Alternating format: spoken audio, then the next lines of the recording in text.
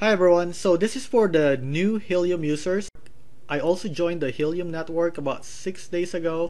And until now if I go to the Helium Explorer my status still says syncing and I know that my miner has synced already 2 hours after I set it up. And also I set up the port forwarding as well so that I don't have any relay status. But every time I go to Helium Network, it's just concerning that I always see the syncing status. So what I did is I actually contacted the uh, SenseCap uh, support because my miner is SenseCap and they told me to ignore whatever is in the Helium Explorer because Helium Explorer is usually delayed. They said to just look at the SenseCap dashboard or in my SenseCap app to check the status of my miner.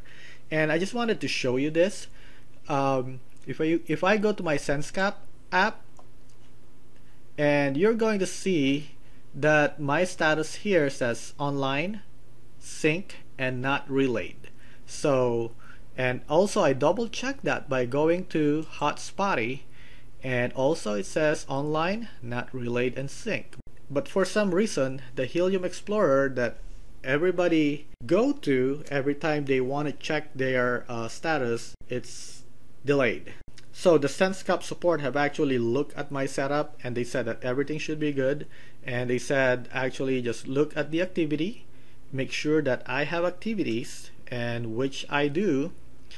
And just want to show you this. I have all these activities every every day. Um, I have beacons and have witness uh, of course my earning is uh, low right now. I'm still uh, working on my placement. I just have my miner placed in my bedroom. So I have an antenna ordered. What I'm gonna do is I will run that antenna up into the attic and see if it will help with my reward. So if you're interested in that, please make sure to click the like as well as the subscribe button so you can uh, get notified when I put an update on the different placement that I'll do with this miner.